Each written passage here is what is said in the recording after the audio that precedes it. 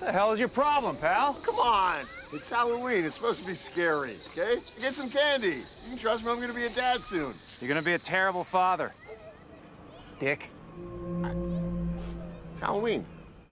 I'm his old high school buddy from out of town. Told me I could come find him here. So, uh, what's kind of funny? Listen, buddy, I'm old, not stupid. So I'll ask again. Who wants to know? I'm his high school buddy, Sean. He was supposed to come pick me up from the airport, but he never showed up, so I decided to come look for him here. Listen, man, I'm tired and hungry and straight off a seven hour flight, so maybe you could cut me some slack?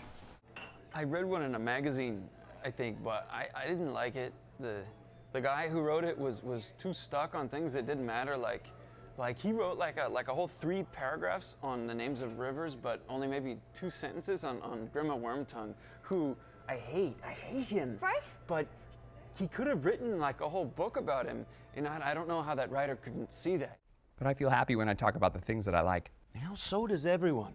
There's nothing I like more than talking about Dex Brickerson, adventure pilot. I am so interesting. But sometimes being a good friend means that you need to tune in to what other people are saying and doing. Isn't that right, Wanda? Do you like pudding?